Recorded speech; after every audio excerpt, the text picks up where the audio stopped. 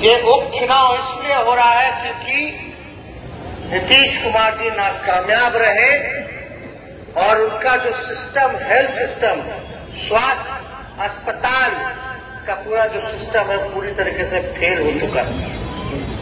यहाँ के विधायक मेवालाल चौधरी जी लगातार फ़ोन करते रह गए जब बीमार अवस्था में थे कि अस्पताल में हमको भर्ती ले लीजिए। कोई अधिकारी फ़ोन नहीं उठाया।